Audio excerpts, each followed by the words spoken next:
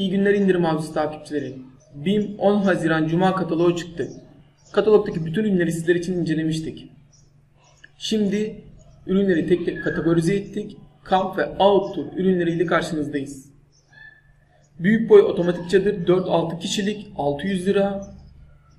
Stanley'nin termosu geliyor arkadaşlar 1.3 litre 400 liradan satışta. Stanley'nin 1 litrelik termosu 330 liradan satışta. Hamak cibinlikli 300 lira. Kampçı yemek pişirme seti 350 lira. Çok amaçlı el aleti 150 lira. Şişme yatak geliyor Intex'in 500 lira. Solar ısınan katlanır su deposu 100 lira. Kamp kaşık çatal bıçak aletleri 40 lira. Kamp bıçağı 130 lira. Kampçı küreği 100 lira. Çadır lambası ve sinek öldürücü 200 lira. Kampçı baltası 100 lira.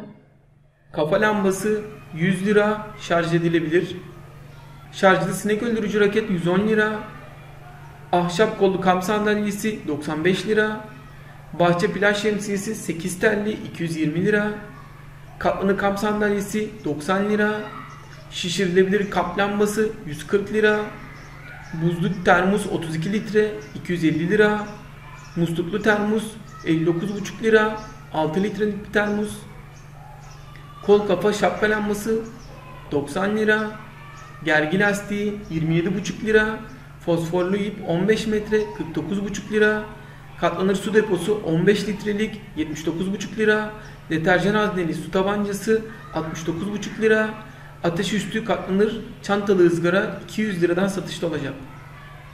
8x cep telefonu kamera lensi de 60 liradan satışta arkadaşlar. 10 Haziran Cuma'dan itibaren bin marketlere gelecek kamp ve outdoor ürünlerini sizler için inceledik. Kanalımıza abone olursanız çok mutlu oluruz. Bir sonraki videoda görüşmek üzere.